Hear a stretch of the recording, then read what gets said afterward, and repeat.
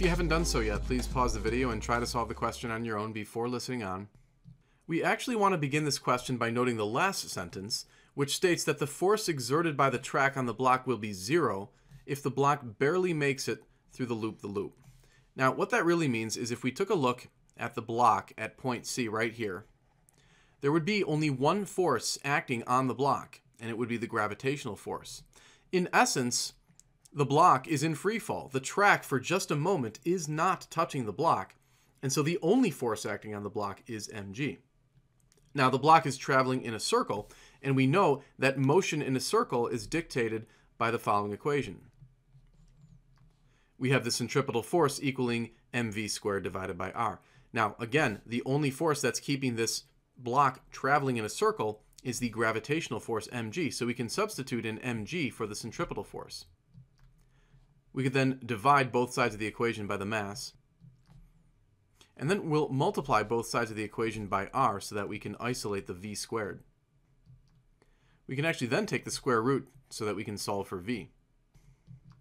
Now, this is a result that we're going to hold on to and refer back to shortly. Now, the fact that there is kinetic friction present between the block and the track means that the work energy theorem can be applied, but in the following form. Essentially, we have the non-conservative work being done on the block equal to the final energy minus the initial energy. Now, when it comes to this non-conservative work being done on the block, that's occurring as the block travels from point A over here to point B. We note that during that trip from point A to point B, as the block slides along to the right, there is a kinetic frictional force acting on it that we can denote as F sub k. Now, the displacement of the block is in this direction. The block is traveling to the right. So if you note from this picture, the angle between the displacement and Fk would be 180 degrees. Now, the reason that we're mentioning the angle is because work is equal to the force multiplied by the distance and then multiplied by the cosine of the angle.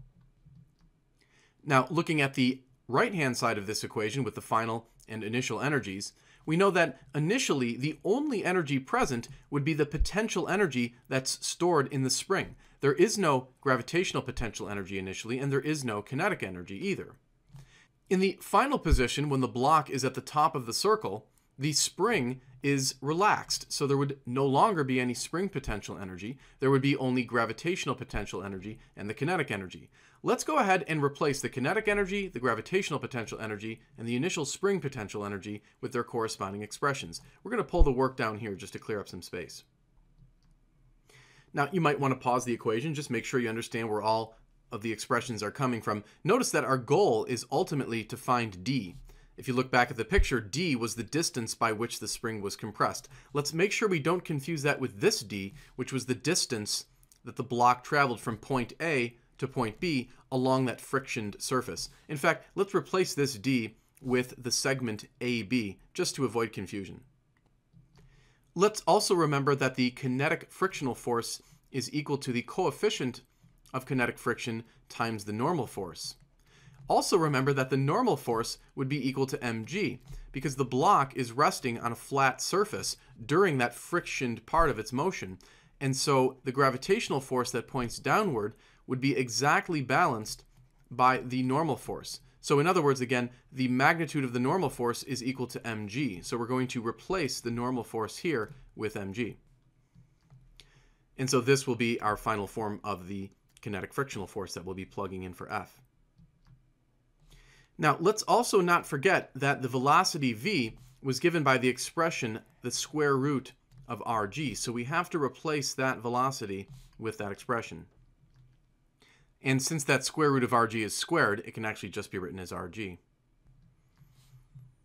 Now, at this point, we're just going to go ahead and plug in all the known values. Notice that the height that the block reaches is simply twice the radius. It's basically the diameter. And so if you'd like, you can replace h with 2r. Now we'll go ahead and plug in the known values. So there they are. Notice again the angle for the cosine was 180 degrees. Why don't we process this on our calculator, this as well as this. We could even multiply the 1 half by 78.4. We can add these two like terms and then subtract that result over to the other side.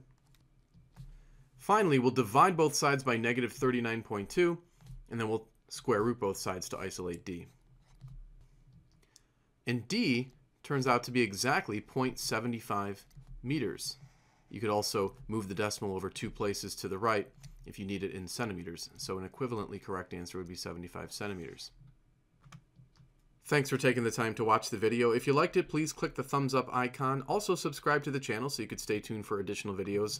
Remember that you're welcome to send in your own question to this email address and I'll do my best to post an answer to it on YouTube.